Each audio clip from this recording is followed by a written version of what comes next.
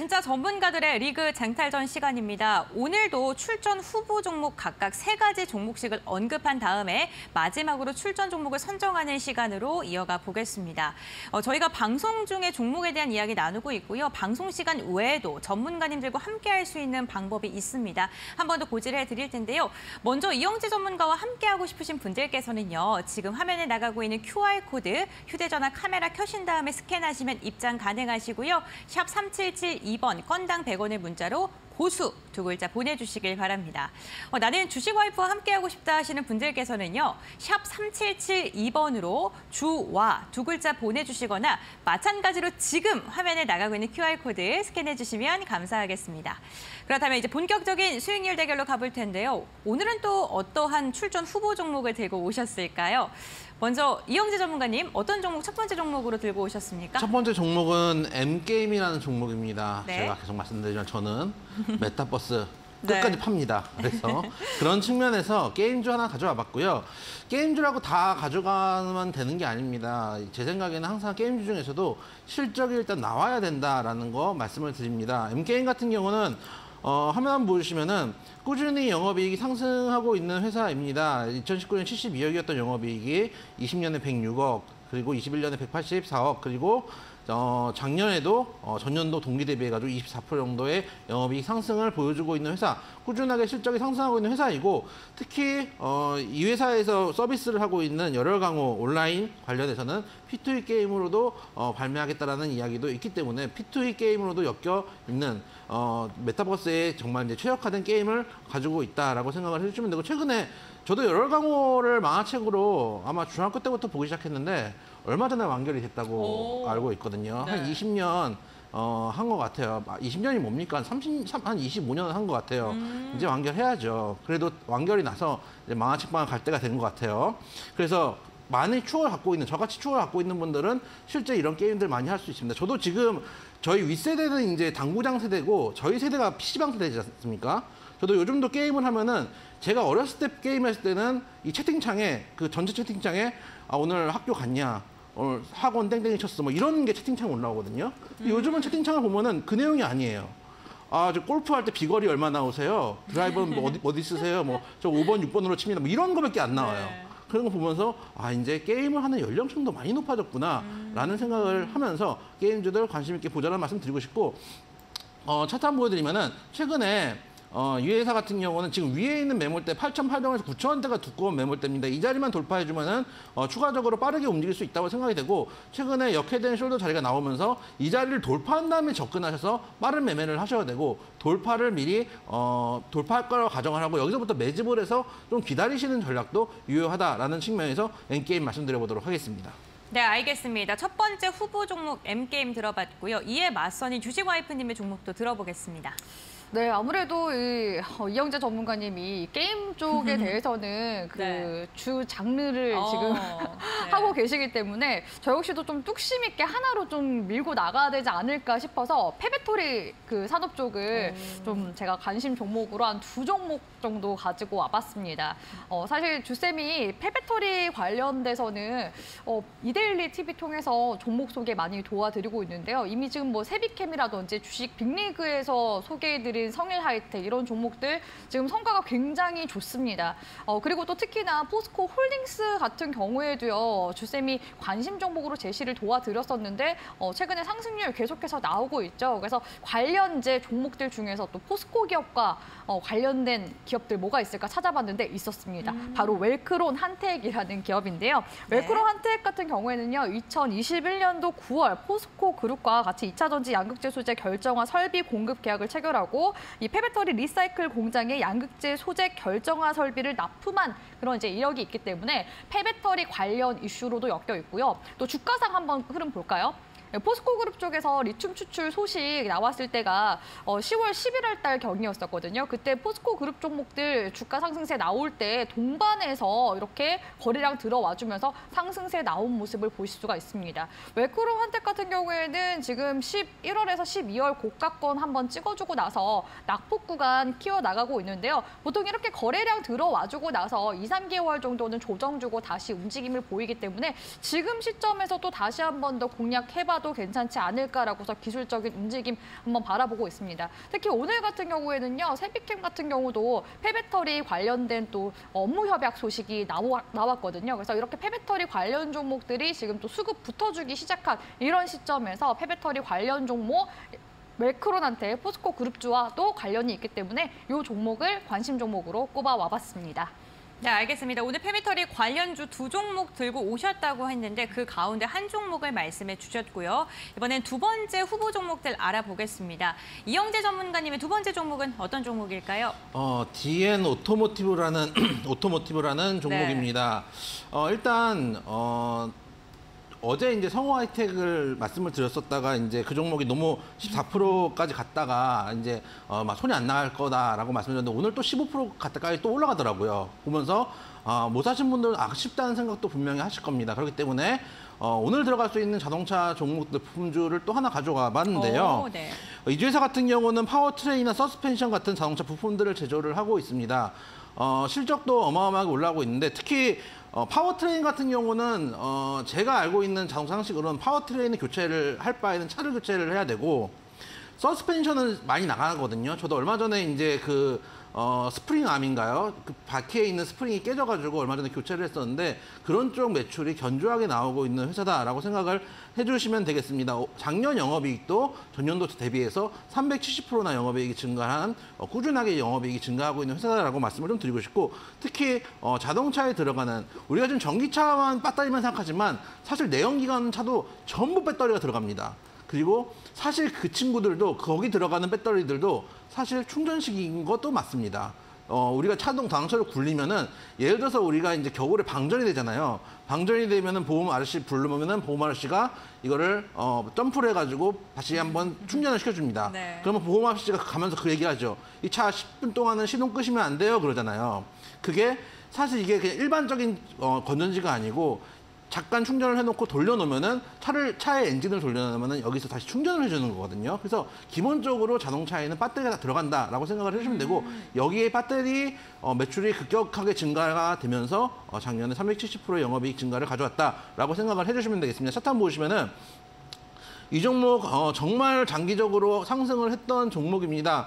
상승하다가 상승하고 있는 종목이 올라타긴 부담스러운데 한번 강하게 조정을 준 이후에 다시 추세를 상승으로 가져가기 위해서 저점을 높이고 있는 상황입니다. 현재 저점을 높였다가 다시 머리를 들고 있는 상승 어, 채널의 하단 정도에 와 있기 때문에 현재 구간 들어가셔도 크게 무리가 없는 종목이다라는 말씀을 드리고 싶고 어제 성우 하이텍 보고 조금 아쉬웠던 분들은 이 종목에도 한번 관심을 가져보자라는 말씀을 드려보도록 하겠습니다.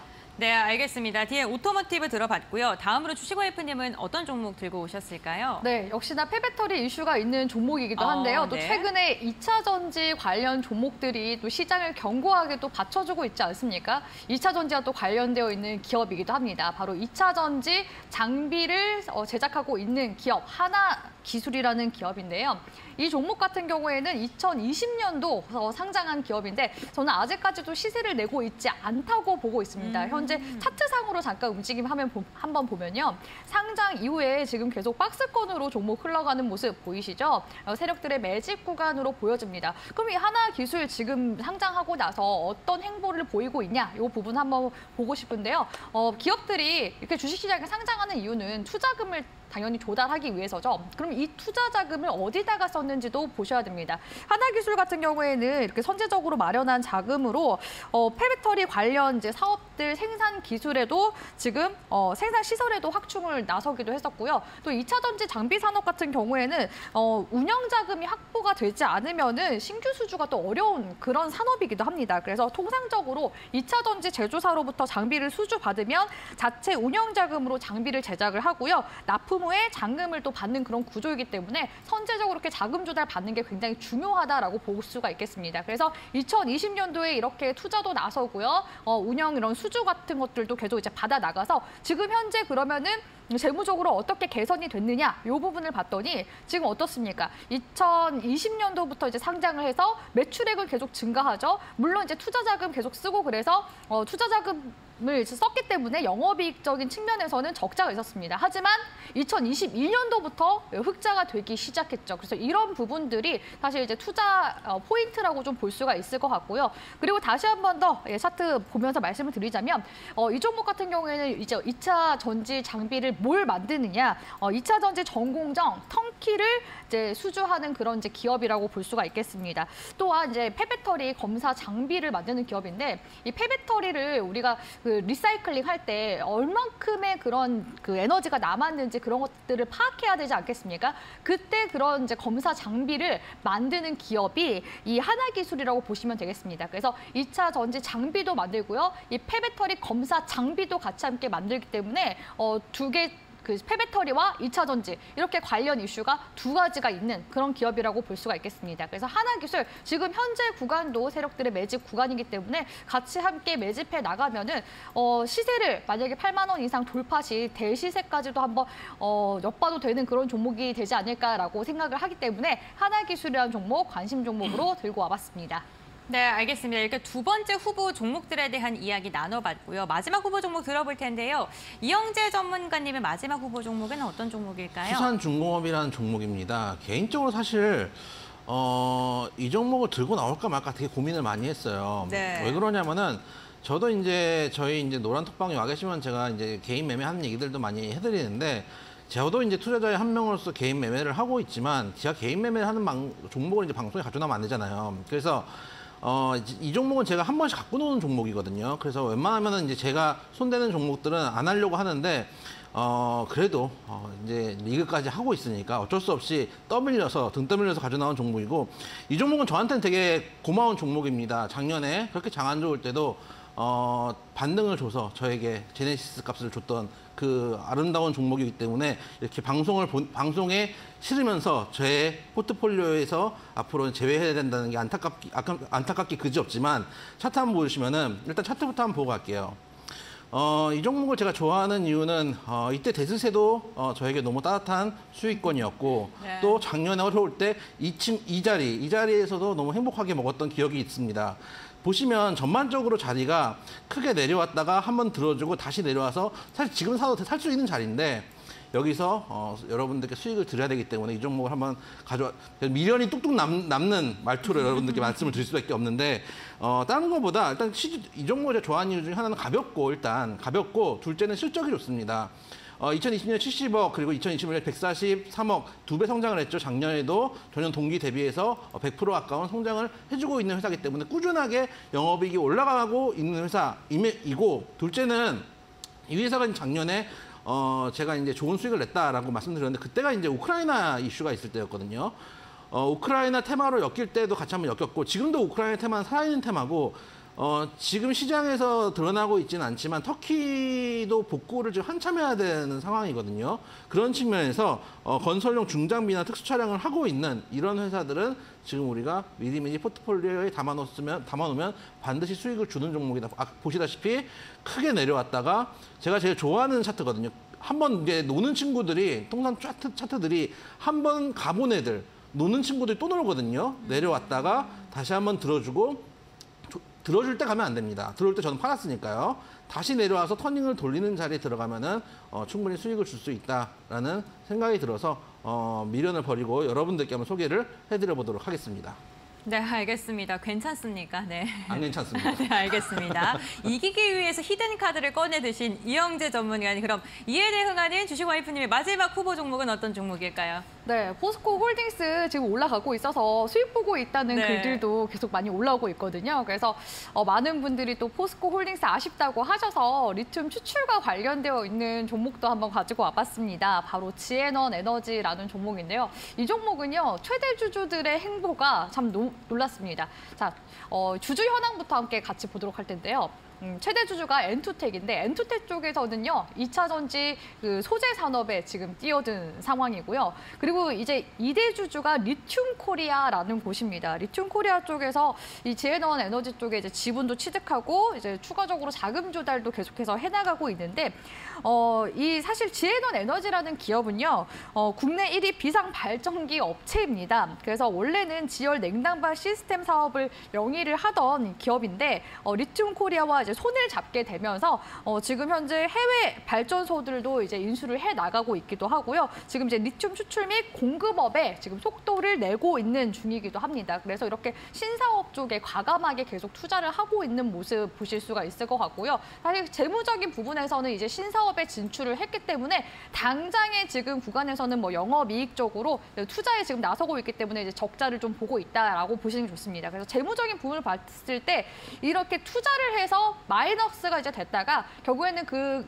산업이 성과가 나기 시작하면은 그 다음부터는 또 다시 흑자 전환이 되거든요. 그래서 재무 볼 때 이 기업이 왜 적자를 보고 있는지, 매출액이 왜 내려가고 있는지, 그러면은 이제 투자를 하고 있다면은 지금 어디까지 성과를 내고 있는지 이런 부분들을 같이 좀 판단하면서 어, 투자를 해 나가시는 게 좋습니다. 그래서 이런 부분들을 좀 짚어봐 드리고 싶었고요. 그리고 차트 한번 다시 한번 더 보도록 하면 어, 11월 구간에 이렇게 이제 리튬 추출 관련된 이제 이슈들이 나오면서 어, 강세 흐름이 나왔다가 지금 2, 3개월 정도 역시나 어, 조정 받아준 상황이죠. 어, 지금 현재 낙폭 구간 다시 키우고 난 다음에 오늘 구간에서 또 다시 수급이 붙어주기 시작한 모습 관측이 되고 있습니다. 그럼 지금 구간이 기술적으로 어떤 구간인가 하고서 한번 봤더니요. 지금 주봉상 어, 20 주선 구간대에서 딱 정확히 지지받아주는 모습이 나왔습니다. 우리가 이평선을 볼 때 또 가장 중요하게 바라봐야 되는 구간이 심리선 생명선에 해당하는 20선이거든요. 그래서 이 20선 구간을 또 지지받아주게 된다면 은 다시금 또 주세가 주, 어, 추세가 반등 전환될 가능성이 높습니다. 그렇기 때문에 지금 구간이 눌림목 이후에 반등을 또 줄 수 있는 그런 구간이기도 하고요. 최근에 이렇게 포스코 홀딩스나 또 LG화학 같은 경우에도 리튬 추출 관련된 오늘 이슈들도 나왔기 때문에 네. 현재 구간에서의 이제 모멘텀을 봤을 때 지에넌 에너지 충분히 지금 구간에서 시세 한 번 또 다시 한 번 더 반등세 강하게 나오지 않을까라고 보고 있기 때문에 지에넌 에너지 관심 종목으로 한번 뽑아봤습니다.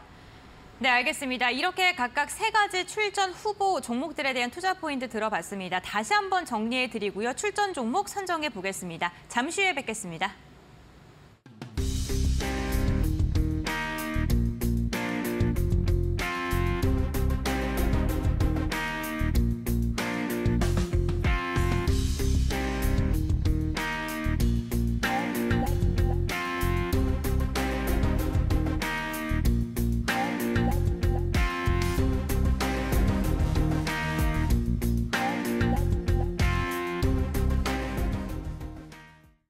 네, 리그 쟁탄전 어, 저희 오늘 또 출전 종목을 선정을 해 보겠습니다. 이영재 전문가님의 종목부터 들어볼 텐데 눈물의 수산 중공업일까요? 아, 그럼요. 수산 중공 가야죠. 소개시켜드렸는데 이걸 탑픽을 안 뽑을 수는 없고요. 네. 어, 일단 현재 3,015원인데 3,000만 원 밑에서 3,000원 이제 밑에서 이제 잡으면 크게 어, 무리한 가격대는 아니다. 그래서 매수가 3,000원 정도로 잡으셔도 된다라고 말씀을 좀 드리고 싶고 어, 이제 저희 유튜브 댓글창에서 고동님이 시총 얼마냐고 물어보셨는데 어, 이, 이 회사의 시총이 음, 그 1,628억이거든요. 작은 종목입니다. 그러면은 어떻게 생각하시냐면은 아, 코스닥 잡주 아니야? 이렇게 생각할 수도 있잖아요. 코스피입니다.